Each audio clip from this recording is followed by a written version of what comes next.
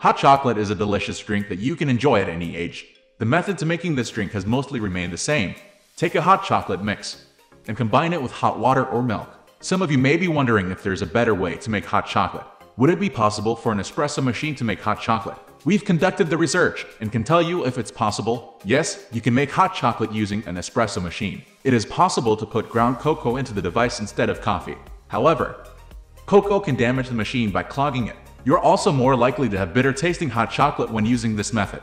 It would be best if you only use the espresso machine to texture your milk before adding it to chocolate for best results. You will get different types of hot chocolate depending on how you use your espresso machine to make it. Keep watching to learn about each method.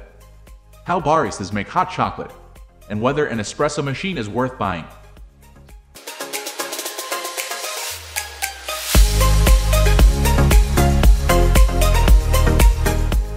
You typically only put finely ground coffee into an espresso machine. However, it is possible to put in ground cocoa instead. To do this, you'll have to find a high-quality cacao bean. If you don't purchase roasted cacao beans, you'll have to roast them yourself. You should avoid using cocoa powders, depending on the type of cocoa powder you get.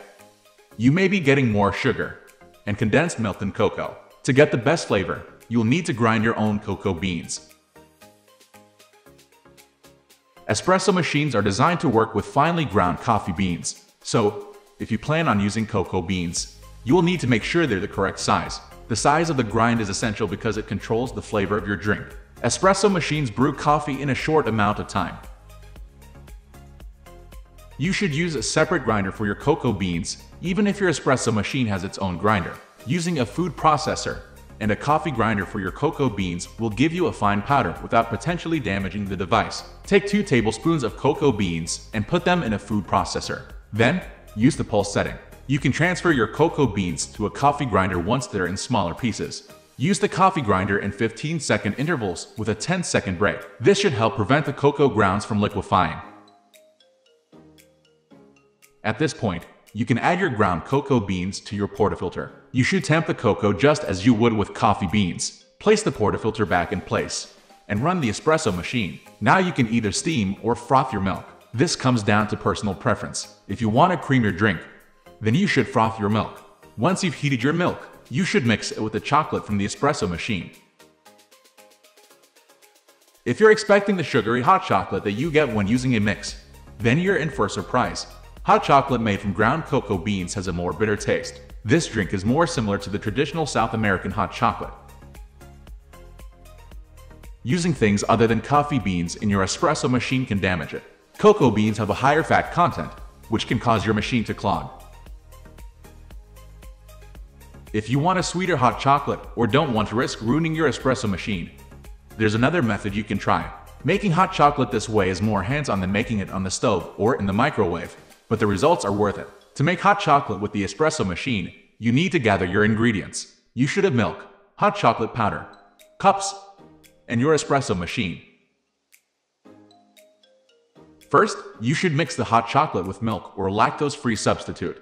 Then, take the mixture and use the steaming wand on your espresso machine. You're done once the drink is hot. Some people worry about damaging their steaming wands by using this method. It is possible that the hot chocolate can get into the steaming wand and clog it. However, damages are minimal as long as you're taking proper care of your steam wand otherwise. You can also steam the milk without any chocolate mixed in. First, you'll have to decide what type of cocoa you'd like to use. You can use syrup or hot chocolate powder. If you use a powder, you should add a little water to create a liquid. Then, froth the milk in a separate metal container. Finally, pour the heated milk into the cup with the chocolate in it.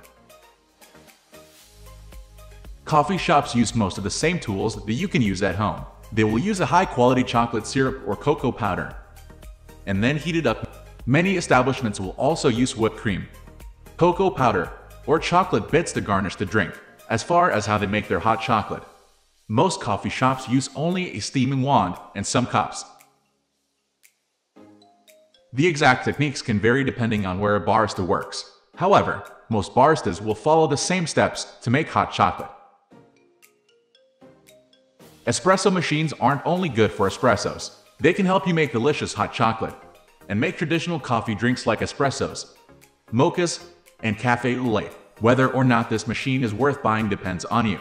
If you're frequently going out and buying different types of coffee, then this is worth it. Going to the coffee shop every day adds up. So, having an espresso machine and using it will help you save money in the long run. Hot chocolate is a fantastic drink that you can make using your espresso machine. While you can put ground cocoa beans in your machine, it can cause damages and won't taste the same. The best way to make this drink is by using the steaming wand on the espresso machine. This will give you a great drink without potentially breaking your appliance. We are going to end this video right away. If you have any query or information to share, please leave a comment. Thanks for watching.